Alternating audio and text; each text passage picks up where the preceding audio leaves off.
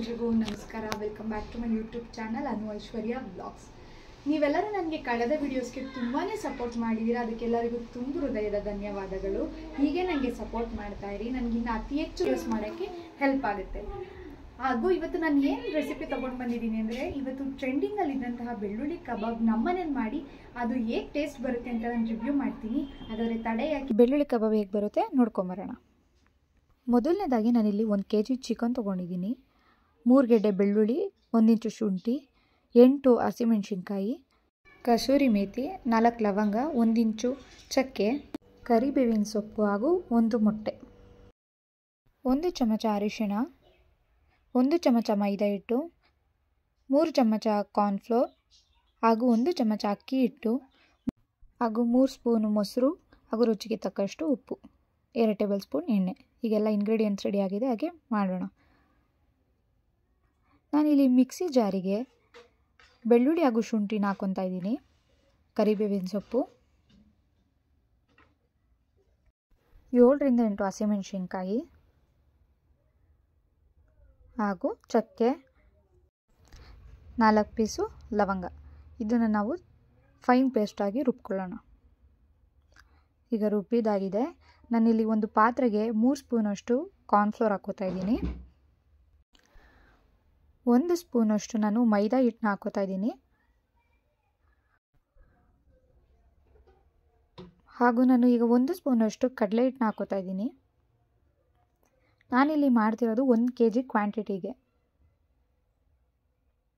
ಹಾಗೂ ನಾನು ಒಂದು ಸ್ಪೂನಷ್ಟು ಅಕ್ಕಿ ಹಿಟ್ಟನ್ನ ಹಾಕೋತಾ ಇದ್ದೀನಿ.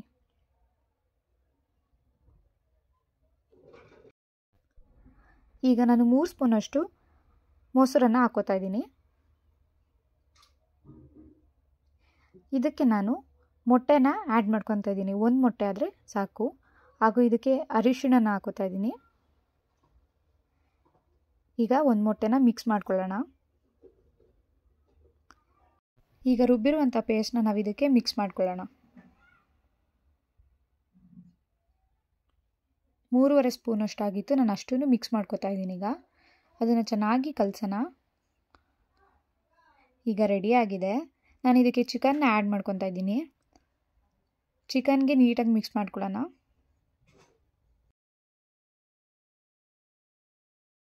ನಾನಿವಾಗ ನೀಟಾಗಿ ಕಲ್ಸ್ಕೊತಾ ಇದ್ದೀನಿ. ಚಿಕನ್ಗೆ ಕರೆಕ್ಟಾಗಿ ಹಿಡಿಬೇಕು ಆ ಥರ ಕಲಿಸ್ಕೊಳ್ಳೋಣ. ಈಗ ಆಗಿದೆ. ಇದಕ್ಕೆ ನಾನು ಇವಾಗ ಉಪ್ಪನ್ನ ಆ್ಯಡ್ ಮಾಡ್ಕೊತಾ ಇದ್ದೀನಿ. ರುಚಿಗೆ ತಕ್ಕಷ್ಟು ನಾವು ಉಪ್ಪನ್ನ ಆ್ಯಡ್ ಮಾಡ್ಕೊಳ್ಳೋಣ.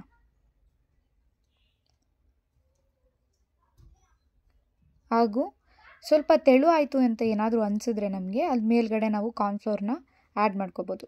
ಈಗ ರೆಡಿಯಾಗಿದೆ ನಾನಿವಾಗ ಲಾಸ್ಟಲ್ಲಿ ನಾನು ಎಣ್ಣೆನ ಆ್ಯಡ್ ಮಾಡ್ಕೊತೀನಿ. ಎಣ್ಣೆ ಜೊತೆಗೆ ನಾನು ಕಸೂರಿ ಮೇಥಿನ ನಾನು ಆ್ಯಡ್ ಮಾಡ್ಕೋತೀನಿ. ಈಗ ನೀಟಾಗಿ ಇನ್ನೊಂದು ಸಲ ಮಿಕ್ಸ್ ಮಾಡಿ ನಾವು ಇದನ್ನು ಮ್ಯಾರಿನೇಟ್ ಆಗೋಕ್ಕೆ ಬಿಟ್ಬಿಡೋಣ. ಮ್ಯಾರಿನೇಟ್ ಆಗೋವರೆಗೂ ನಾನು ನಿಮಗೆ ಒಂದು ವೀಡಿಯೋನ ಶೇರ್ ಮಾಡ್ಕೊಬೇಕು ಅನ್ನಿಸ್ತು. ಇದು ನನ್ನ ಮಗ ಅದ್ವಿಕು ಇವಾಗ ಒಂಬತ್ತು ತಿಂಗಳು ತುಂಬಿ ಇವತ್ತಿಗೆ ಹತ್ತನೇ ತಿಂಗಳು. ಅಂದರೆ ಸ್ಯಾಟರ್ಡೆ ಇಪ್ಪತ್ತ್ಮೂರಕ್ಕೆ ಅವನಿಗೆ ಹತ್ತನೇ ತಿಂಗಳಿಗೆ ಬಿದ್ದಿದೆ. ಅವನಿಗೆ ನಾನು ಈ ಥರ ಹುಟ್ಟಾಗಿಂದನೂ ಪ್ರತಿ ತಿಂಗಳು ನಾನು ಇದೇ ಥರ ಅವನಿಗೆ ಫೋಟೋ ಶೂಟ್ ಮಾಡ್ಕೊಂಬಂದಿದ್ದೀನಿ. ಅವನಿಗೆ ಯಾವ ಕಾನ್ಸೆಪ್ಟಲ್ಲಿ ಮಾಡಿದ್ದೆ ಅಂದರೆ ಅವನಿಗೆ ಈಗ ಹಲ್ ಬರೋಕ್ಕೆ ಸ್ಟಾರ್ಟ್ ಆಗಿದೆ. ಆ ಕಾನ್ಸೆಪ್ಟಲ್ಲಿ ನಾನು ಈ ಸಲ ಫೋಟೋ ಶೂಟ್ ಕೂಡ ಮಾಡಿದ್ದೀನಿ ಅವನಿಗೆ. ತುಂಬಾ ಕ್ಯೂಟಾಗಿ ಕಾಣ್ತಾ ಇದ್ದ. ಯಾವ್ಯಾವ ಥರ ಪ್ರತಿ ತಿಂಗಳು ನಾನು ಫೋಟೋ ಶೂಟ್ ಮಾಡಿದ್ದೀನಿ ಅಂತ ಅದಕ್ಕೂ ಒಂದು ಸಪ್ರೇಟ್ ವೀಡಿಯೋ ಮಾಡ್ತೀನಿ ನಾನು. ನಾನಿವಾಗ ಒಂದು ಫೋಟೋ ಕೂಡ ಆ್ಯಡ್ ಮಾಡ್ತೀನಿ.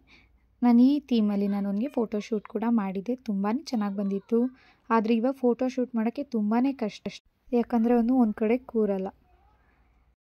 ಅಷ್ಟರಲ್ಲಿ ಎಣ್ಣೆ ಕೂಡ ಕಾದಿತ್ತು. ಒಂದೊಂದೇ ಪೀಸ್ನ ಹಾಕ್ತಾ ಹೋಗ್ತೀನಿ. ನಾವು ಇದನ್ನು ಮೀಡಿಯಮ್ ಫ್ಲೇಮಲ್ಲಿ ಹುರ್ಕೊಳ್ಳೋಣ. ಐ ಫ್ಲೇಮಲ್ಲಿ ಹುರ್ಕೊಂಡ್ರೆ ಮೇಲೆಲ್ಲ ಕೆಂಪು ಬಣ್ಣ ಆಗಿರುತ್ತೆ. ಆದರೆ ಒಳಗಡೆ ಬೆಂದಿರಲ್ಲ. ಹಾಗಾಗಿ ಮೀಡಿಯಮ್ ಫ್ಲೇಮಲ್ಲೇ ಹುರ್ಕೊಳ್ಳೋಣ. ನಾವು ಹಾಕಾದ್ಮೇಲೆ ಟೂ ಮಿನಿಟ್ಸ್ ಹಾಗೆ ಬಿಡೋಣ. ಯಾವುದೇ ಥರದ ಸ್ಪೂನಿಂದ ನಾವು ಅಳ್ಳಾಡ್ಸೋದು ಬೇಡ.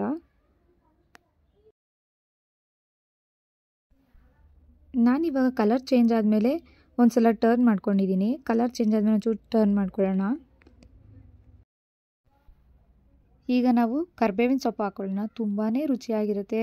ಮಧ್ಯ ಮಧ್ಯ ಕರ್ಬೇವಿನ ಸೊಪ್ಪು ಸಿಗ್ತಾಯಿದ್ರೆ ಈಗ ಇದು ರೆಡಿಯಾಗಿದೆ ನಾನೊಂದು ಪ್ಲೇಟಲ್ಲಿ ಹಾಕೋತಾ ಇದ್ದೀನಿ.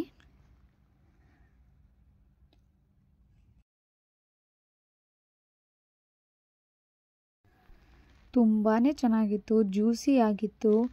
ತಿಂತಾಯಿದ್ರೆ ಇನ್ನೂ ಚೂರು ತಿನ್ನೋಣ ಅನ್ನಿಸ್ತಿತ್ತು. ಅಷ್ಟು ಚೆನ್ನಾಗಿತ್ತು. ನೀವು ಒಂದು ಸಲ ಮನೇಲಿ ಟ್ರೈ ಮಾಡಿ ನೋಡಿ. ಹೇಗಿದೆ ಅಂತ ನನ್ನ ಕಮೆಂಟ್ ಬಾಕ್ಸಲ್ಲಿ ತಿಳಿಸಿ.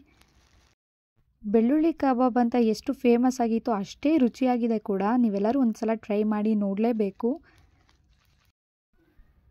ನನ್ನ ವಿಡಿಯೋ ನೋಡಿದ ನಿಮಗೆಲ್ಲರಿಗೂ ತುಂಬ ಹೃದಯದ ಧನ್ಯವಾದಗಳು. ನನಗೆ ತುಂಬಾ ಸಪೋರ್ಟ್ ಮಾಡ್ತಾ ಇದ್ದೀರಾ. ಹೀಗೆ ಸಪೋರ್ಟ್ ಮಾಡ್ತಾಯಿರಿ ನಾನು ಇನ್ನೂ ಚೆನ್ನಾಗಿರೋ ವೀಡಿಯೋಸ್ ಕೂಡ ಮಾಡ್ತೀನಿ. ಇಷ್ಟ ಆಗಿದರೆ ಲೈಕ್ ಮಾಡಿ ಶೇರ್ ಮಾಡಿ ಕಮೆಂಟ್ ಮಾಡಿ. ಶೇರ್ ಮಾಡಿ. ಹಾಗೆ ಮುಂದಿನ ವಿಡಿಯೋಟಿಗೆ ಸಿಗ್ತೀನಿ. ಅಲ್ಲಿವರೆಗೂ ಥ್ಯಾಂಕ್ ಯು